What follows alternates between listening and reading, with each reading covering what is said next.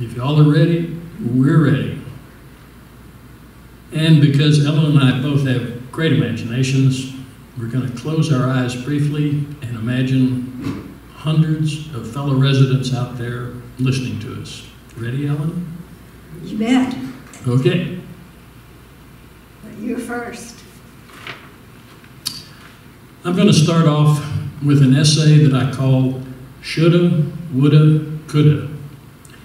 And it begins with a quote from the character Andy Bernard in the closing moments of the finale of the television series The Office. Andy says, I wish there was a way to know you're in the good old days before you've actually left them. Well, it is what it is the world, the world situation, the situation in which we are. Everything, everything just is what it is. And it is what it is because it was what it was. We're doing what we're doing because we did what we did. And we did what we did because we did what we did before that. It's what we did all the way back to the beginning. For the present moment to be different from what it is would require the past to be different from what it was. If things could be different, they would be different. They aren't because they can't be. They are what they are. A movie put me onto this one way roundabout track to nowhere a bittersweet romantic comedy called La La Land. The title is clever, relating to the movie being set in Los Angeles, also known as LA or La. And it's a musical, and Patti Page sang Tra La La, Twiddly Dee Dee.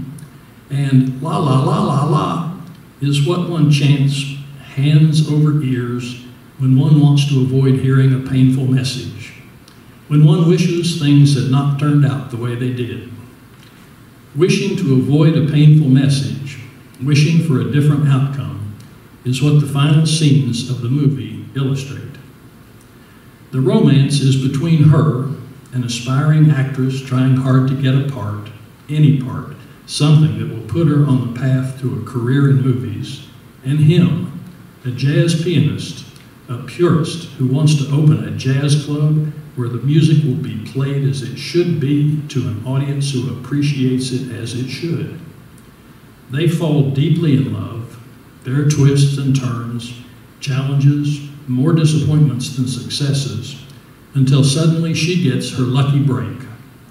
She's offered a part in a major movie to be shot in Paris, requiring a commitment of many months.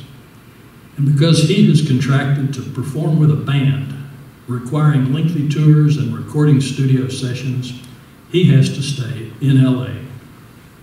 They resist, then realize, then accept that they must separate, must go do their separate things on their separate paths, and they pledge before parting, I will always love you, and I will always love you.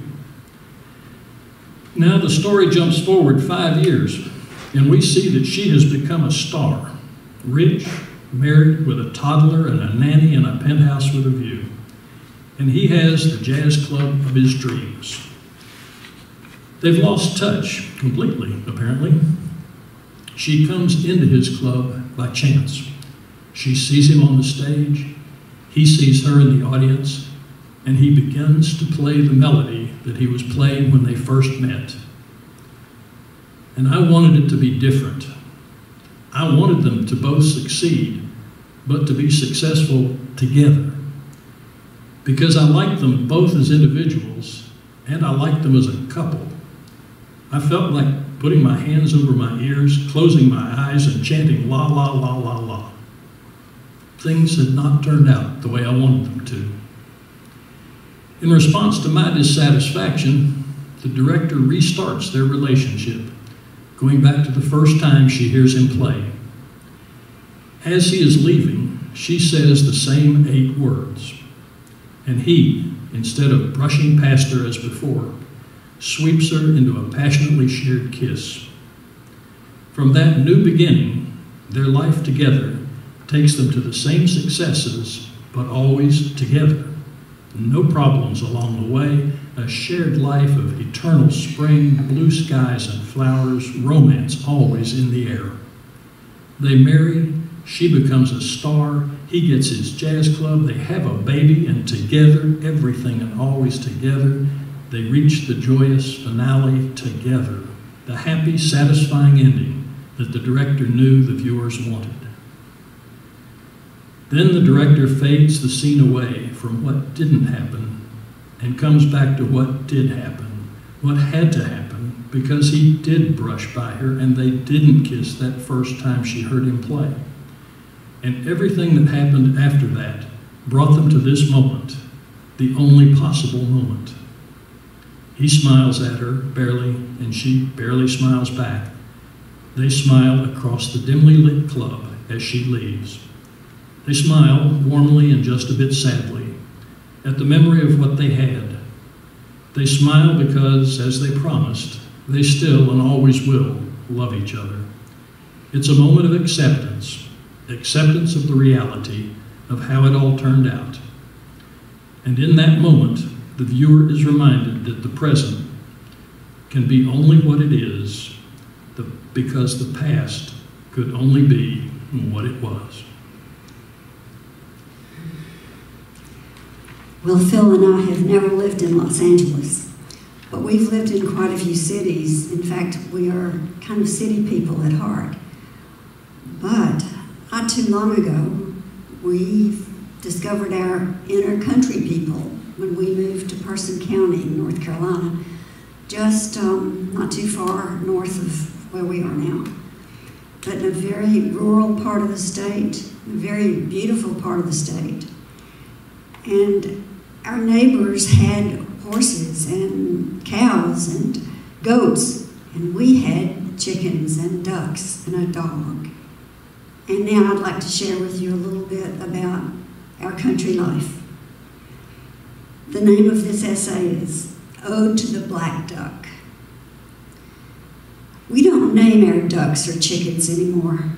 I say we, but I'm the one who did it. And I stopped after we had to put Betty and Blanche and Esmeralda in the freezer.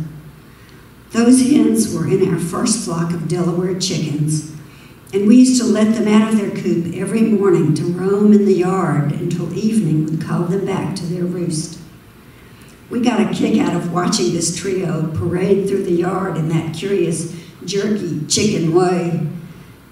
We admired the way that they would each go running back to the pen and jump back in the nest when it was time to lay an egg. We paid attention to their personalities and their quirks and thought of them as pets. Well, at least I did.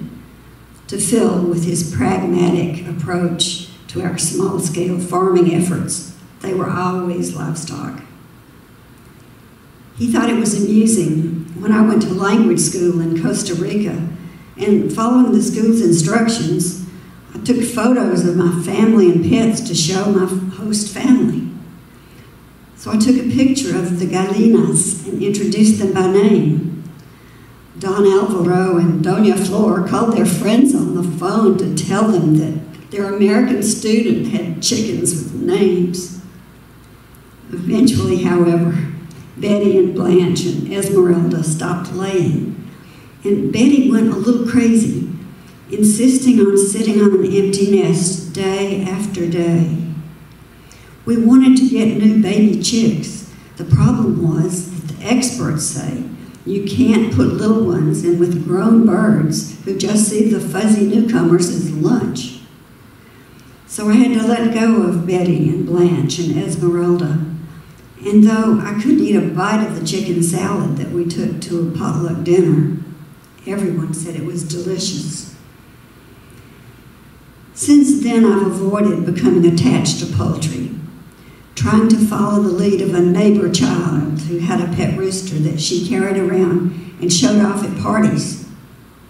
When the rooster and several of his female companions were killed by stray dogs, I was really worried about Katie but she said, not with a shrug, but with a mature grasp of reality, Will chickens die?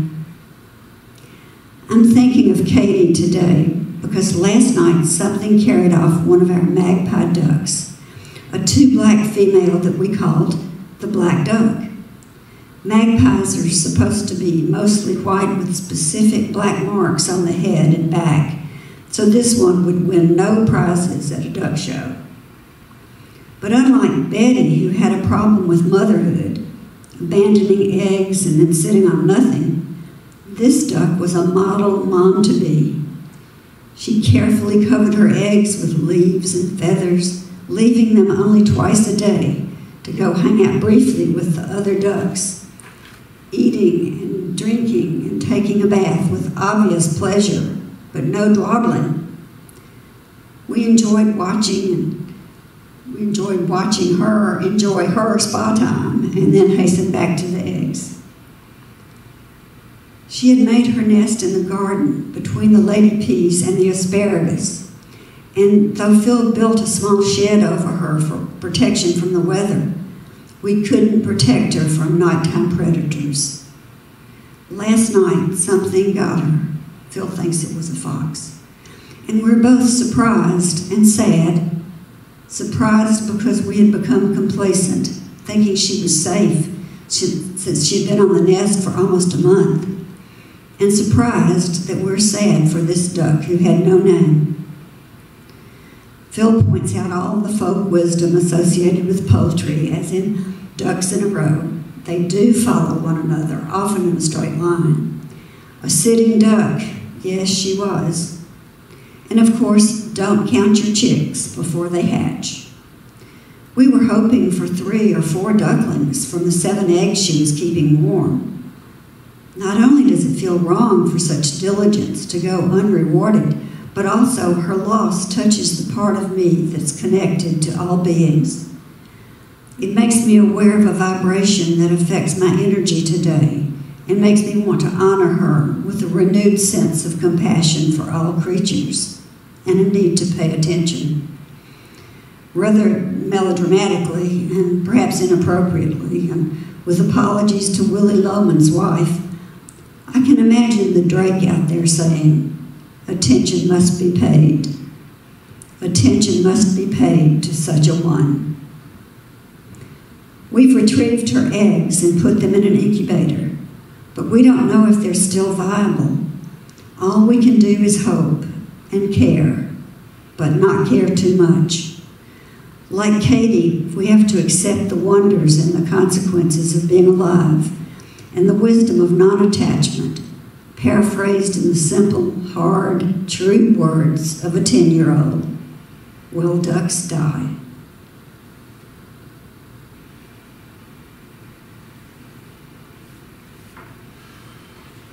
Well, variety is the spice of life. So here's about as big a change of pace as we could manage. This is an essay that it's in its it's in second version. Uh, I wrote I wrote the original many years ago, and then realized the new and added relevance of it. Uh, so rewrote it, updated it for now. It's called Toilet Paper. When I taught a class in writing personal essays, participants would ask, but what should I write about? What can I write about? And my invariable answer was anything. Anything can be an essay topic. It's all about context, about placing your topic in a context that hooks your readers and draws them in, makes them see it as relevant to their own lives and stories. This essay may be the ultimate test of my answer because this essay is about toilet paper. It starts with a backstory, a toilet paper backstory. It begins 21 years ago in 1999 when I watched the television film Tuesdays with Morrie. Early in the story, Morrie talks about how his rapidly progressing ALS is taking away his ability to do things for himself. He sums it up in the one specific thing, the one ability that he knows he will lose being able to wipe his own ass. Having to have somebody do that for him would be the ultimate concession to dependency. A few years later, we went to a retreat in Costa Rica with Ram Dass, a spiritual teacher whose book, Be Here Now, we had both read and which had deeply affected us. Like Morrie, Ram Dass had been a strong, vital, active man, an independent man. And as a result of a recent severe stroke, Ram Dass was, like Morrie, totally dependent on others for everything that he needed done, including wiping his ass. In one of the meditation sessions at the retreat, the leader recounted Zen Master Thich Nhat Hanh's teaching on what can be seen in a sheet of paper the cloud that produced the rain to grow the tree from which the paper was made, the logger who felled the tree, the parents who birthed and fed him, all the interdependent entities that contributed to bringing the sheet of paper to be. The next morning, while seated on the toilet, I looked at the piece of toilet paper in my hand, and I realized that, like Thich Nhat Hanh's sheet of paper, my piece of toilet paper was the product of clouds and rain, trees, loggers, and the parents who birthed and fed the loggers. But my vision didn't stop there. The loggers used saws made of steel and steel logging equipment loaded the logs onto trucks. The trucks drove the road over roads made of concrete, over bridges of steel. The trucks and the equipment were made of steel and plastic and glass, and they ran on rubber tires. Rubber tree tappers had collected the sap, and processing plants had made it into vulcanized rubber, and tire manufacturers had made that into tires and shipped them on boats made of steel. Miners had dug iron ore, smelters had converted ore to iron, and steelmakers converted the iron to steel, and mills had converted the steel into sheets and rods, which other workers at other plants made into machinery and boats. All the equipment that moved was powered by gasoline and lubricated by oil from oil wells and refineries and bankers made loans, and lawyers drew up contracts, and farmers raised the food that fed everybody, and doctors and nurses treated their ailments and mended their wounds, and preachers tended to their spiritual needs, while entertainers of every variety kept them amused, and teachers taught them the knowledge they needed to do their jobs. And governments provided stable societies, trade agreements, and economies that enabled workers to work and to sell what they made and buy what others made. And at some point, a truck delivered a case of toilet paper to a store. A clerk put it on the shelf. Somebody from the retreat center went to the store, picked up the roll, paid the cashier, and brought it back. And a housekeeper put the roll on the roller beside where I was sitting, and I tore off the piece I held in my hand. All that and more. All those people and more.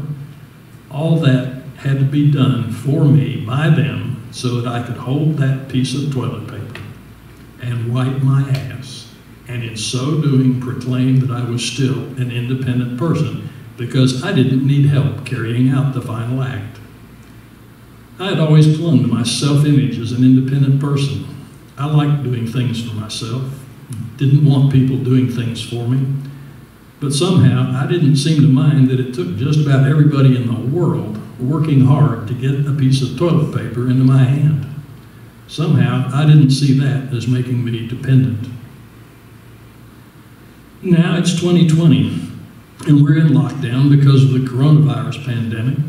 There's been panic buying and hoarding, and along with hand sanitizer and face masks, the greatest shortage in the marketplace, marketplace is, you guessed it, toilet paper. As soon as talk began to spread about possibly being confined to home, everybody ran out and bought a couple of years' supply of toilet paper. Now, I would love to think that they did it so that they could meditate on human interdependence, how no woman is an island, how even the most fiercely independent person, the most dedicated back to the land survivalist, is reliant on others for almost everything produced by humans. But I don't think that was their concern nor their desire. I think they wanted to guarantee that no matter what else happened, they would be able to retain that one last shred of dignity. They wanted to be sure that they could tear off a couple of squares and demonstrate their independence so that they could say them to themselves, well, at least I could still do that for myself. And now back to the country. This one is called Just Ducky. Phil says chickens and ducks are food for so many other creatures that it's a wonder that any of them survive. Of course, some of them don't. Our unnamed magpie duck, who was sitting on seven eggs, was taken off her nest, but her eggs were undisturbed. When we found her missing early one chilly spring morning, we didn't know how long the eggs had been left uncovered and getting cold but we set up our incubator in the bathroom and moved the eggs into it. There they sat for over a week with the whirring sound of the machine reminding us of the lives we were saving. Maybe. Later, when we looked at our book on raising ducks, we saw that there's a way to tell whether an egg holds a live chick. But by the time we consulted the book, it was too late. We were already hearing peeping sounds from the inside one of the eggs. We kept running to the bathroom to peer at the egg that was slowly cracking as the little duck worked to push his way out. It took about 24 hours for him to drag his little wet body completely out of the egg and then lie there free but exhausted. Before he was strong enough to stand up, he crawled around the other eggs, pushing them gently and stopping to sleep beside one, and then another. When he was awake, he was constantly chirping to the other eggs. Meanwhile, we continued reading the book, finding out that the duckling would need to stay in the incubator for four to 12 hours to dry. And he would be fine unless, oh my gosh, we had no idea he was in such danger. The book said that eggs that held chicks that had died could explode, killing the, filling the incubator with putrid smelling bacteria, and of course, killing this poor baby. What to do? Obviously, we had to get him out of there, but we couldn't do it too soon. My anxiety was building as we watched him slowly dry out and fluff up, while one of the other eggs was showing signs of cracking. Phil brought in a wash tub, put a box in it, along with some cedar shavings, and moved duck number one into it when he was about eight hours old. Safe at last, but not happy. He was alone and didn't like it a bit. Now the peeping turned into sharp squeaks, akin to the sounds the smoke alarm makes when the battery needs changing. Two rooms away, his shrill peeps were met by the exact same sounds coming from the incubator. Duck number two was on his way out, and he was already calling to his brother or sister, demonstrating the strong need for every creature to be part of a flock or a family. Those were happy ducklings when we were able to unite or reunite them the next morning. Thank goodness they had both escaped the exploding eggs. By now, 24 hours after the first one hatched, two more ducklings were on their way out. Numbers three and four arrived almost simultaneously, like twins, so they had each other for company and never made the smoke alarm noise.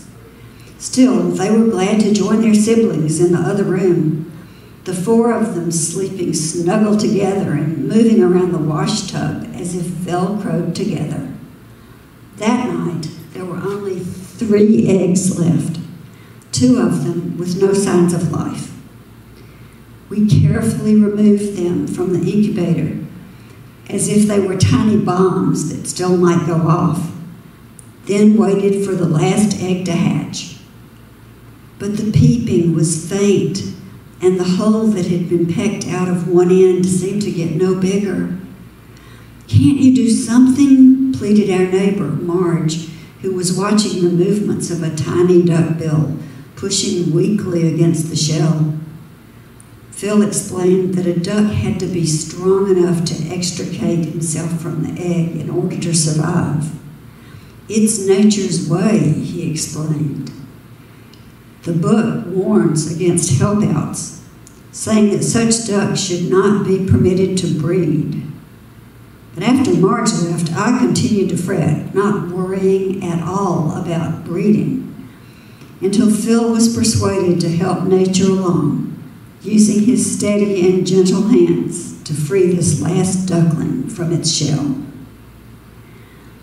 The next morning, duck number five was alive and dry and ready to join his siblings. Crisis past. Now I can put exploding eggs into that category of bad things so well described by Mark Twain when he said, I've known a great many troubles in my life, but most of them never happened. These rescued ducklings won't know their mother, but they seem to recognize our dog Ruby as a friendly protector. Ruby likes to put her head inside the wash tub, counting each duckling one by one. We don't give our ducklings names, but these five have numbers. Over to Phil for a grand finale. I'm going to I'm going to close uh, by reading the the poem that appeared in the Forester, and most of you have probably read it, but several people said that they would like to hear what it sounded like when I read it. And to tell the truth, I was thinking of it as a song when I wrote it, and I sort of hear it with kind of a Johnny Cash sound to it. So think Johnny Cash while you're listening to Back to the Future. I'm riding sitting backwards on a forward moving train. I can't see where I'm going, but you won't hear me complain. My future hides behind me, but my past is plain to see. It lengthens as I journey, stretching out in front of me. I sit here in the present where my future turns to past. And while the future that's behind me is getting shorter really fast, the past before me stretches out further than I see, and my future just keeps dwindling down somewhere in back of me. The present's evanescent, no more lasting than a song. It's gone before you know it, you just have to move along. We strive, survive, and stay alive in momentary presence and wait to reach the ending of our lifelong too brief sentence. When your future is behind you and your past is what's ahead, you will see things that you regret, but can't see things to dread. When all you see has taken place, what's over and what's done, your future turns to past before you know it's even come. I'm traveling backwards to the future, looking forward at the past. Doesn't matter which I'm facing, because this journey will not last. Whether barely getting started or getting near the end, my destination lies behind me, back around some bend. Just Thank y'all. Thank you all so much for coming, and we look forward to doing this again with people in the room. Y'all take care. Yes.